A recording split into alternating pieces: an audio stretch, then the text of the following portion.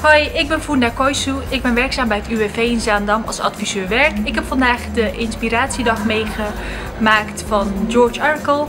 Ik vond het een bijzonder leuke ervaring. Ook het aspect eh, branding, personal branding was voor mij totaal nieuw. En dat ga ik zeker toepassen. Wij hebben George uitgenodigd voor een evenement hier bij het UWV in Saaswijk Waterland. Hij heeft een lezing gegeven aan onze deelnemers.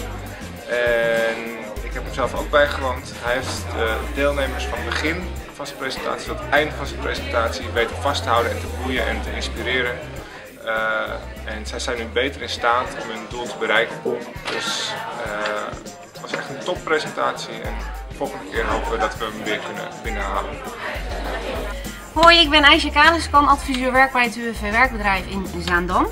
Um, ik ben net bij de lezing geweest van George Arakel.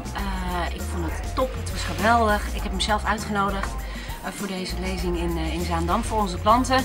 Maar ik heb er zelf ook even bij gezeten. Nou, ik vond het geweldig.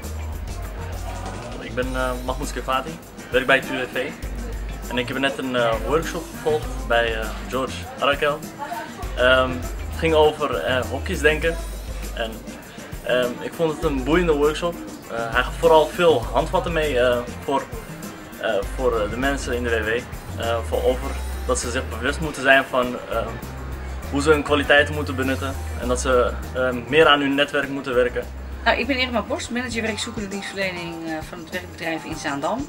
Ik heb de workshop bijgewoond van George, met name over het hokjesdenken. Uh, wat mij opviel is dat hij heel erg gedreven is. Klanten bleven de hele workshop geboeid. Er kwamen heel veel vragen, klanten deden allemaal heel erg goed mee. Um, en wat mij bijgebleven is dat je eigenlijk uh, het gemiddelde bent van de vijf mensen die direct om je heen staan. Dus dat betekent dus dat je heel goed moet zoeken naar de mensen die je om je heen uh, zoekt. Als dat positieve mensen zijn, dan ben je zelf ook positief. Ik vond het een prima workshop. een goede aanrader voor iedereen.